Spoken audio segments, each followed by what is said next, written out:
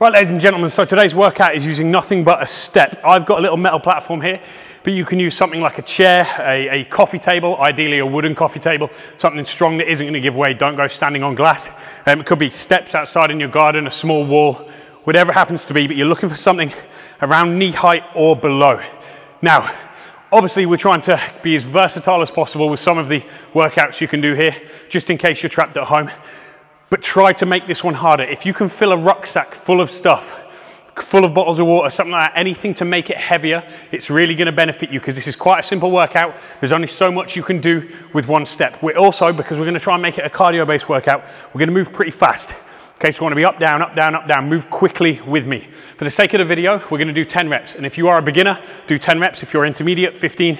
If you are relatively advanced, you consider yourself quite advanced, do 20 reps or more per set. We're gonna run through the exercises back to back with zero rest between. We're gonna do a rear foot split squat, a push up, a hip thrust, dip, a side step or front step, depending on how, your, how high your platform is, and then a side plank rotation. So I'll explain the little bits as we go along.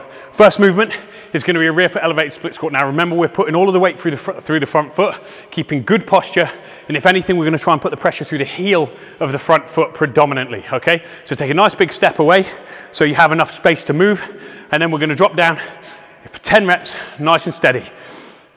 Big drop, two, Power out. Three, like you're trying to jump. Four, five, six. We're gonna get the heart rate up. Seven, eight. Remember to add weight with this if you can. Nine and 10. I'm only doing it without weight just because some of you may not have weight at home. One, two, big stretch. Three, kick through the heel of that front foot. Four, five, six, with me, speed. Seven, eight, nine, 10. Next movement, push up. So you've got options here. You can either do it with your hands on the bench, you can do it flat on the floor, or you can do it with your feet on the bench, hands on the floor. The hardest version is feet on the bench, hands on the floor, and that's what we're gonna go for. So 10 reps. One, abs tight. Two, three, nose hits the floor, you power out. Four, five, six, don't look underneath you. Seven, neck straight. Eight, nine, ten. Boom. Okay, hip thrust. So sit down next to your platform, nice and smooth. We're gonna either do this with two legs if you have additional weight. So if you can get your partner or your child to sit on your hips, have them do it. If not, do a single leg. So place one leg up on top of the other, lower yourself down, squeeze up. One, two, three. Add weight if you can. Four.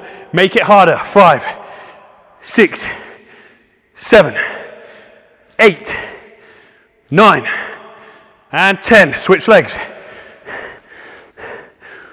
One, two, three. Flexing that glute hard. Push through the heel. Four, five, six, seven. Squeeze it. Eight. Tilting the pelvis up towards the ceiling. Nine and 10. Sit back down. Next one is your dip. So, knuckles facing forwards, Keep your legs relatively straight, chest up, and then down smooth, power out. One, two. The closer you bring your feet, the easier it is. Three, four. But remember, we're trying to make this hard. Five, six, seven, eight, nine, ten. Remember, if you're not finding this challenging and you don't have weight, then make sure you are adding reps to this. Next option is a side step. But if your platform is too high, do a front step like so. We're gonna do a side step because we have a suitable height platform. Place this foot on nice and strong. We're gonna lower ourselves down till the heel of the front foot, only the heel, taps the floor, we come straight back up. Taps the floor, straight back up, two. Feel it in the glute on this raised leg, three, four, pushing through a flat foot, predominantly in the heel on the raised leg, five, halfway, six, seven, eight, nine, one more time, 10. Remember to do more if you're not finding it challenging enough. Move the steps, I'm still in shot. We go again. Flat foot, weight in the heel. One, tap down with the heel of this leg. Two, three, four, five, six, seven, eight, almost there, two more.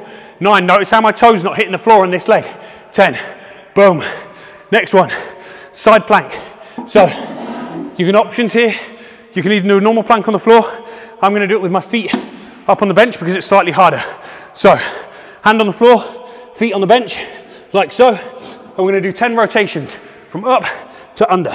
One, two, just tap the floor near your hand. Three, four, abs tight. Five,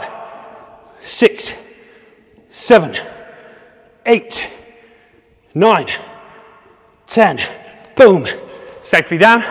Other side. Last exercise. Feet up on the bench. And then rotations.